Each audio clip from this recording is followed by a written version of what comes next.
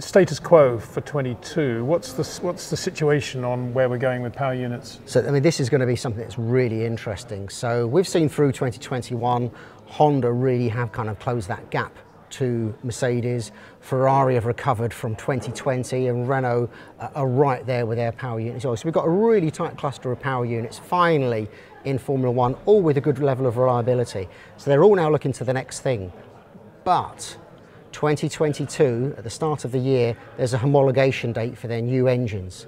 So they need, between now and that date, need to have their new engine prepared. And they can change as much as they want of the engine. If Ferrari or Renault want to go to a split turbo, if they want to go to Mercedes style plenums, anything like that, they're allowed to do within the regulations.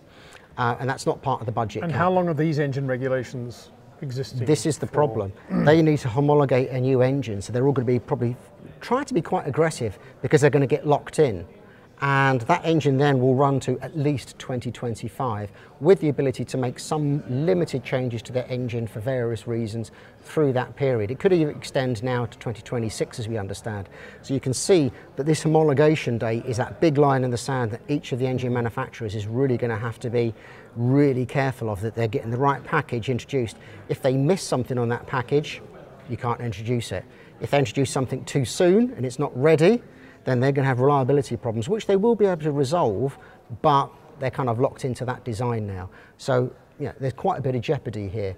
Then we go to 2025 or 2026 and ongoing discussions as to what will these future power units look like. And that really is completely open at the moment.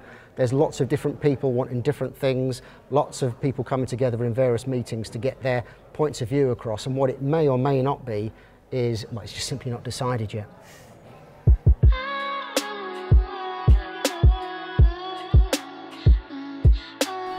For more detail on what these 2025 power units might look like, Craig spoke to Richard Saxby, head of McLaren Applied Motorsport Accounts. Richard has just joined McLaren from Mercedes F1, where he headed up the test and development centre. Formula One is moving forwards. Uh, we're looking towards a new power unit formula. As you say, we've had um, a hybrid system since 2009. 2025, 2026, they're looking to change the power unit and a bigger proportion of the car's performance will come from the electrification. Um, at the moment it's what, 80-20? Potentially it could go to 50-50 horsepower, go way through the 1,000 horsepower. What kind of technology would be involved in doing that? And is that the direction that Formula One perhaps should be going?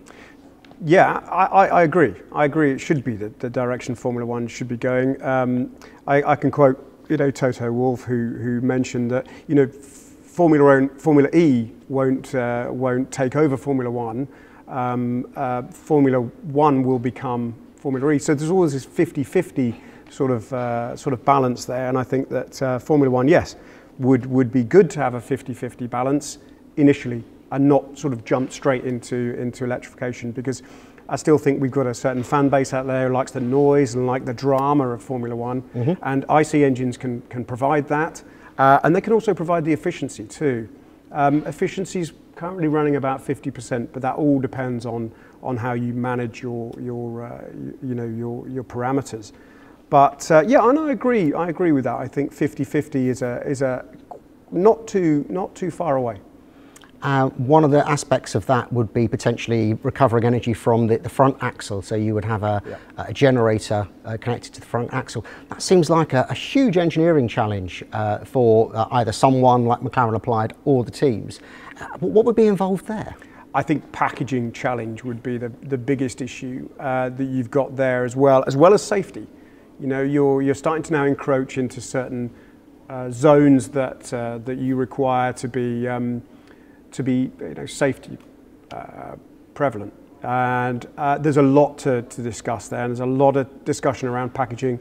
Uh, the, you know, I think the front end of the cars will change, so there'll be an aerodynamic uh, change. They'll also need to be cooled somehow, um, and the car's weight would most likely increase too.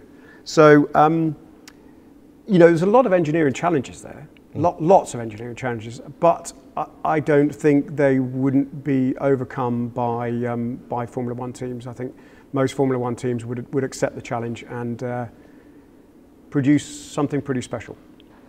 The other aspect of that is an, an, increase in the performance of the MGU-K. They're, they're talking figures of 375 kilowatts, which we've seen motors uh, already racing that size. But with the, the high cycle um, speeds of uh, Formula One charging and discharging between corners, what effect is that going to have on the battery in terms of size and technology and cooling? Yeah, I mean, right now, if we took today's technology, then um, you know that could that could uh, could be increased. We've also looked at the, the, the, the, the inverter technology that we're um, um, adapting or applying. Um, so yeah, it, it, would be a, it would be a combination of the two. Um, but certainly, the weight currently, if you to use the current technology, would, would increase the you know increase the weight of the car. Um, but there'd be other aspects we'd need to look at the car as well. You know, some of the car would need to be strengthened um, to cope with some of the torque mm. that uh, that may be applied.